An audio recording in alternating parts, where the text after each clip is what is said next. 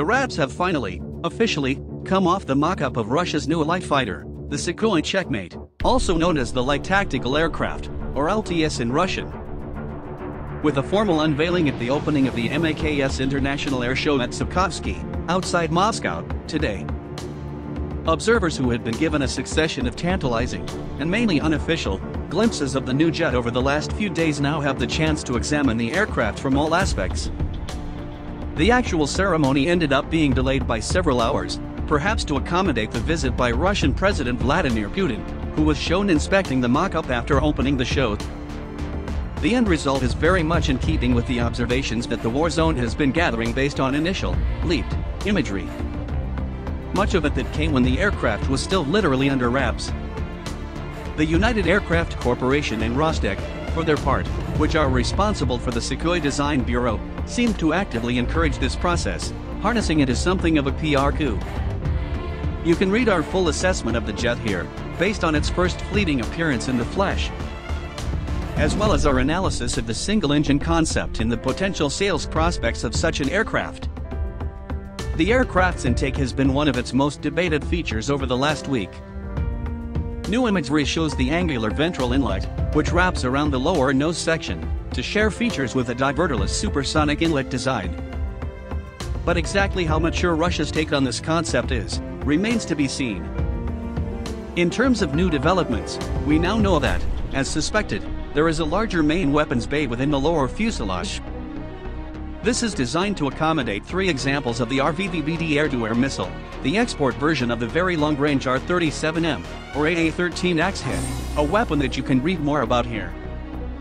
Furthermore, we now have confirmation that the long, Conformal weapons bays located forward of the main landing gear are indeed intended to house smaller air-to-air missiles for close-range defense.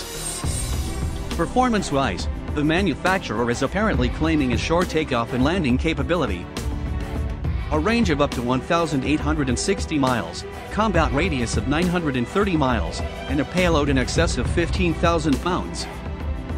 The airframe is said to be stressed to 8G, which is only slightly less than the 9G at which the airframe of the Su-35S flanker heavyweight fighter is rated. This may reflect the fact the design focuses more on low observable characteristics and range than maneuverability, although the final result is likely closer to the Su-57. Concentrating on reducing the signature from the frontal hemisphere, rather than all-aspect stealth.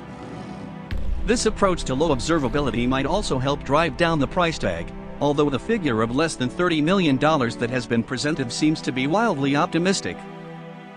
By contrast, there was much fanfare when Lockheed Martin managed to bring the unit cost of its F-35A down to less than $80 million, achieved in 2019 after hundreds of examples had been built.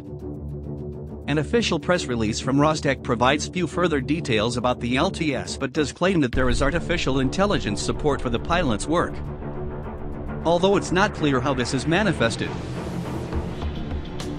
Moreover, it seems unlikely that Russia is anywhere as far along as the various U.S. Air Force projects exploring developments in AI and autonomous flight, including digital co-pilots. A glimpse into the Checkmate's cockpit, also a mock-up, of course, reveals a single, large area display dominating the control panel, plus a smaller display above it together with a traditional central control stick and a conventional-looking head-up display. The projected timeline for the LTS includes the first flight of a technology demonstrator in 2023, followed by construction of pre-series prototypes in 2024 to 25, and delivery of initial production examples potentially as early as 2026 to 27. All this, however, depends on first securing the funds to continue the project.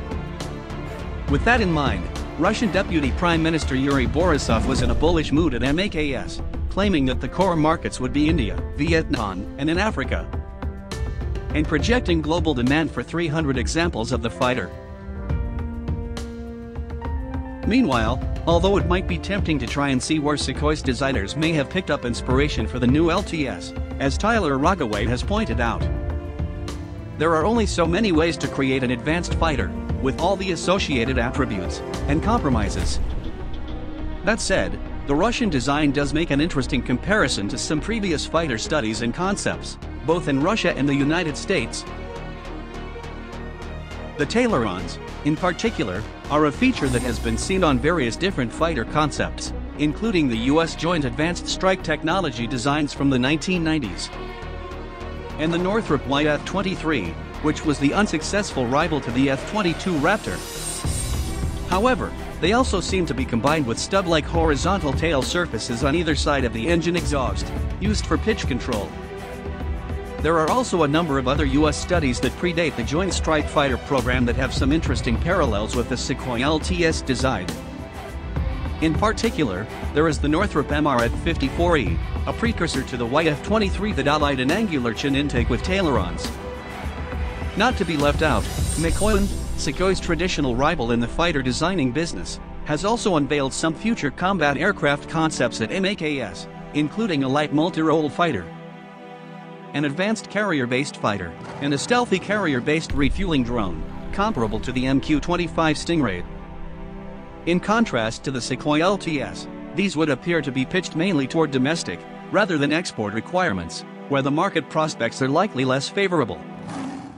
Nevertheless, they provide an interesting insight into the kinds of concepts Mikoyan is looking at for potential future development. The carrier-based fighter, in particular, shows a strong lineage to the Mikoyan design for the multifunctional frontline fighter, or Mnogofunktionalny Frontovoy Istrebitel, abbreviated MFI, which led to the prototype 1.44 that was first flown, after much delay, in 2000. Unlike the Sukhoi LTS, this new Mikoyan fighter proposal retains the twin-engine power plant favored by the Russian military since the end of the Cold War.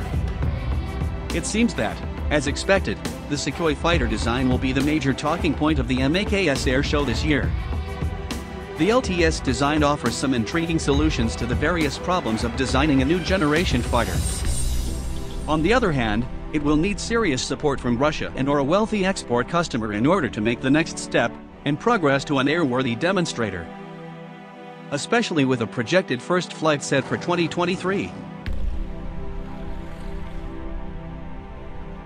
Thereafter, commercial success will be a challenge, too, especially with no shortage of potential rivals from China, South Korea, Turkey, and elsewhere waiting in the wings.